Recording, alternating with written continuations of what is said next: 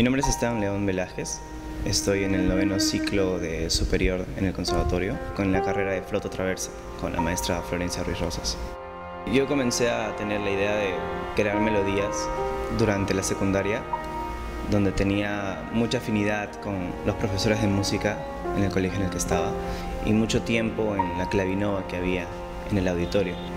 Ya estando en el conservatorio, mis padres me motivaron a qué tal si, si le meto más instrumentos.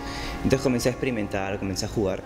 En ese entonces yo estaba llevando clases de piano con la maestra Silvia Castelares y ella me anima a grabarlos.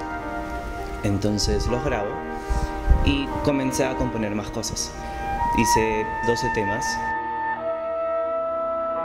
El álbum lo hice a los 19, 20 años. El álbum se llama Etéreo. A mí siempre me ha encantado la música para cine. Entonces, la música que hago es, más o menos parecida a eso, porque trato, trato de contar historias a través de la música. Y como todo es instrumental y con un formato de cámara, entonces trato de que sea como un soundtrack.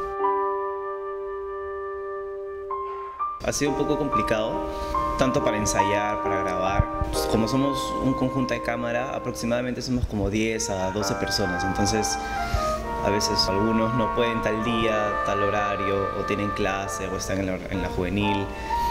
Así que hemos tratado de utilizar los feriados, vacaciones para poder juntarnos, ¿no?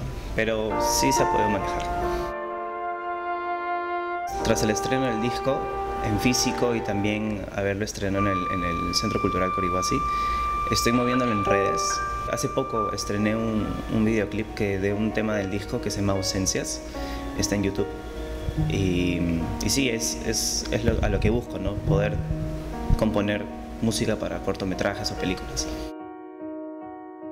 Todo lo que me ha dado el conservatorio, tanto eh, la enseñanza en flauta como este, los, los estudios en teoría, todo eso lo apliqué. No, no creo que haya podido hacer todo lo que he hecho sin, sin todo lo que he aprendido en el conservatorio. La música para mí es todo un lenguaje, es una forma de, expresión, es, una forma bien, delicada, bien sublime en poder conectarte con, con, la misma humanidad, con la misma naturaleza. Es un lenguaje, por así decirlo, muy celestial, que lo disfruto mucho.